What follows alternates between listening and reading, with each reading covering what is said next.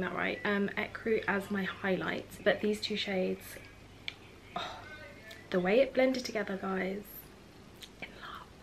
So i'm going in with my highlight now. I'm just going to do a little bit because i feel like this is going to be one of those products where a little goes a real long way. I am just not believing how well this is gliding on my skin. There's no tug so this is shade Seashell. Because it's a multi-use stick, you can literally use it for anything. So this is Oat, and I think this is gonna give just a little bit of warm.